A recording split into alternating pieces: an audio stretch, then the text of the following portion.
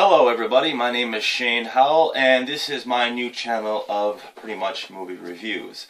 Uh, there's a lot of movie reviewers out there on the internet and also on YouTube that have a lot of problems with actually getting very good reviews. They end up um, they end up picking apart a movie so bad that even though it was a good movie, it turns out to be a big disaster and it ruins it for a lot of fans and a lot of people in general who hasn't even seen or heard anything about the movie.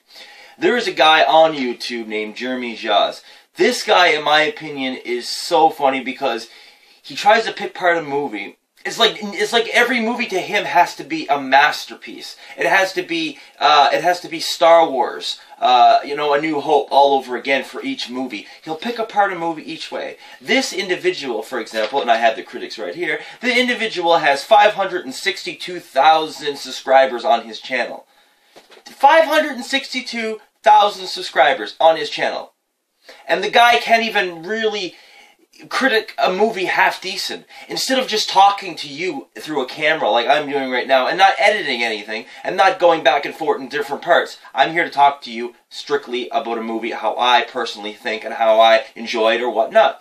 The fact of the matter is, he always has a problem with a movie. He'll find a great movie. For example, the recent one that I've seen was Transformers 4 the Age of Extinction. I went to theaters to see it. I'm a big Transformers fan.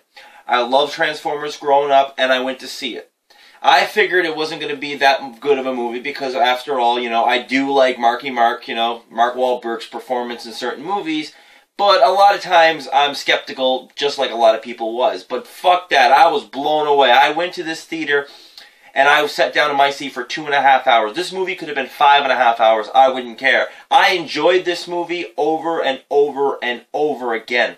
And I will recommend this movie to anybody. Maybe if there's a couple of strict parents out there that are not really into seeing uh, their kids hearing the F word, then you don't really want to bring them to this movie because there is a couple of scenes like that. But come on, when the hell do your kids do not hear that kind of language in the first place. It's not like, you know, the F word. Sorry, why am I even censoring? The word fuck don't come out of your mouth every once in a while, so it's not a big thing. Uh, Transformers was a great movie, but Jeremy Jahns, just like he, Jeremy Jahns fashion, picked apart every single bit part of this movie and basically said this movie was not good at all, blah, blah, blah. In my opinion, this movie was the best Transformer movie out of all of them. It had more action, it had more unique individualism. I love this movie without hands down. It was a great movie, and I recommend it for anybody who likes Transformers, or anybody who like robots, or anybody who like action movies. So, it's a really good movie. Yes, it was directed by Michael Bay, and Jeremy Jahns, once again, had to turn around and call it, and I quote,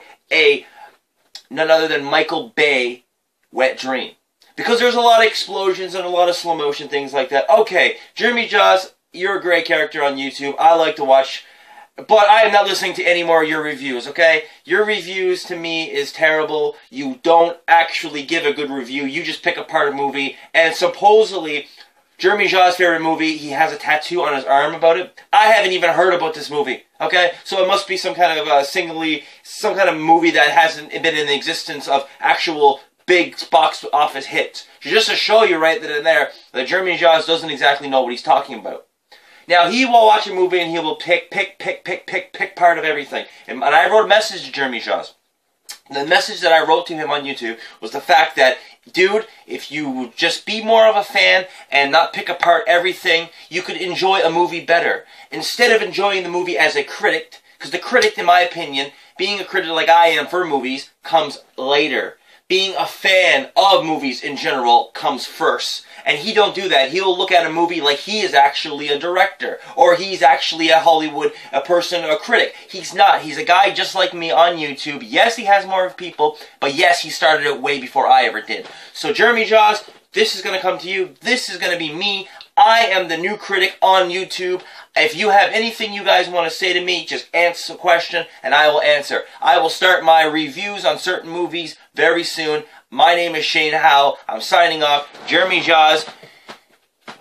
It begins.